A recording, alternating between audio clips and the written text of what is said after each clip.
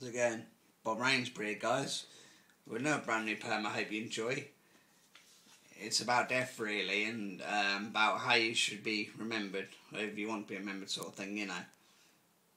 Uh, leave a shell to remember.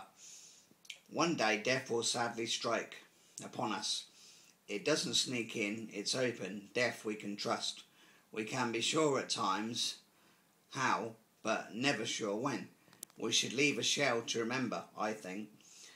Are you mild mannered or are you impolite? Are you a thoughtless soul or are you always kind? Can you link with your past to the present day? Do you have a reputation or ordinary in all ways? Have you travelled the time wave or watched it pass? What life have you chiselled out? One that will last? When you're gone, will mourners flock in thousands? Will you be met by emptiness or tears and flowers? On your final journey, will it be cold and lonely, or will you be carried in the hearts of everybody?